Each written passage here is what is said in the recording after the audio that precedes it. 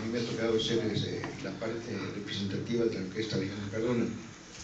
Eh, el maestro Alejandro Cardona es de Veracruz, ya falleció, dejó un legado a nosotros que por lógica a mí lo personal me corresponde seguir la trayectoria que él ha dejado.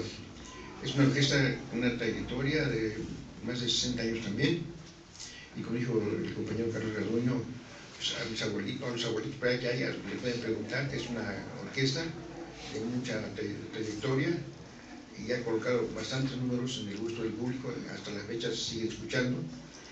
Este, en, la estación de radio también nos siguen también programando seguido también.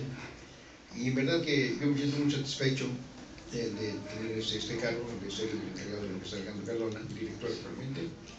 Y los invito a todos también a que vengan y nos escuchen eh, y que recuerden esos viejos tiempos que hay tan bonitos a la gente grande y a la gente joven, que vean que es una orquesta con un tipo de danzón muy original.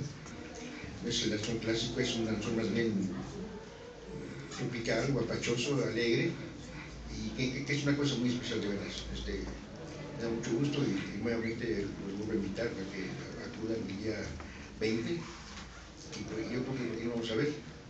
Una pregunta que me quiera hacer con todo gusto.